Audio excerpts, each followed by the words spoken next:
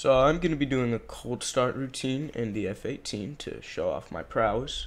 Then I am going to be uh, taking off, and then I'm going to be landing on a carrier. That is what the plan is for today. So it's, it's going to be an interesting one. I can, in fact, start up an F-18.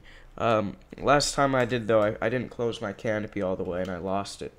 Which, you know, that was slightly embarrassing. But we're going to do better this time. We got to learn from our mistakes. That's what they say. So APU on. Now I'm going to close the canopy. And I'm going to make sure that it's closed all the way. So APU switch is green, so left, so right engine crank. Wait until it reaches about 18 or between 18 or 25% RPM. Then right engine to throttle. I mean right throttle to idle. And wait for that to stabilize at 65% RPM. I'm going to arm the ejection seat. Alright, it's stabilized. So left engine crank now, wait for that. Alright, 20 RPMs, left engine to throttle, left throttle to idle. Alright, turn on our DDIs, our AMPCD, and wait for the engine to get up a little bit, and those should turn on. Alright, so um, all of our screens are on, so we can turn off the APU. It should be stable at 65%.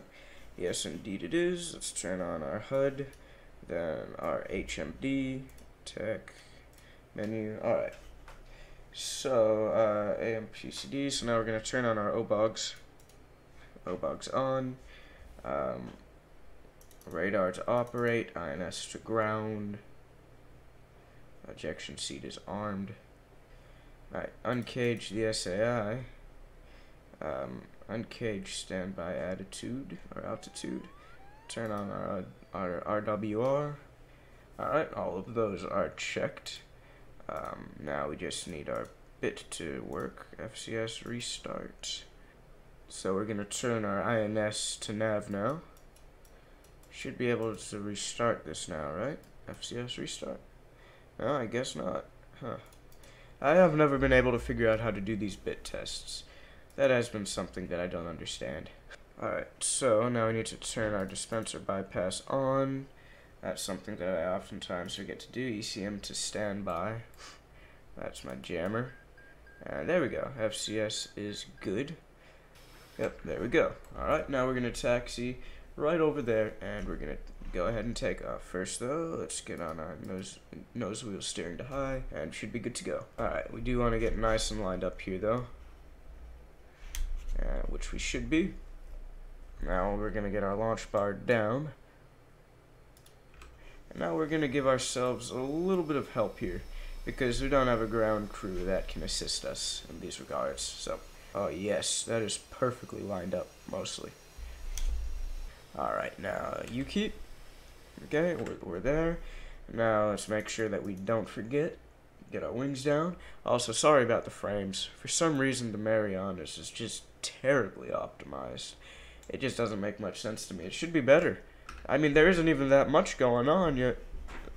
It seems it it just lags so much. DCS really does need that multi-threading. We've been cleared for takeoff. So just as a formality, we're to salute. We have everything right. Let's see. Alright, gears up. Now we are to make sure to land this thing. so something I don't really understand is why my AOA is off to the right here. Because for landing on an aircraft carrier, I am sort of going to need it. But it doesn't work. I've tried adjusting my trim here, hitting the reset button, but it still doesn't quite work. That's my thing with the F-18. I just don't understand. That's really the tough part. There's so much technology in it, and it's so advanced, and it's very nice, but I just don't have any idea how to use it. And oh, look at that approach. Beautifully uh, lined up. Every every last bit anticipated. Goodness gracious. I just I just turned around and I was right there, lined up with that approach. It was I didn't even have to try.